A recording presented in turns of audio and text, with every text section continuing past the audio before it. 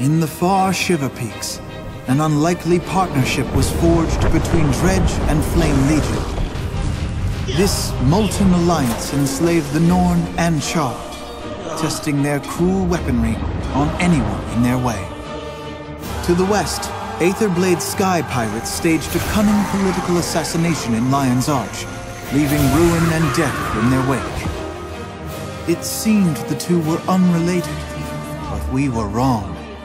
In the middle of Queen Jennah's Jubilee, her own Watch Knights transformed into clockwork horrors and attacked, joined by the Molten Alliance and Aetherblade pirates. It was then that we saw the face of our true enemy for the first time, Scarlet Briar.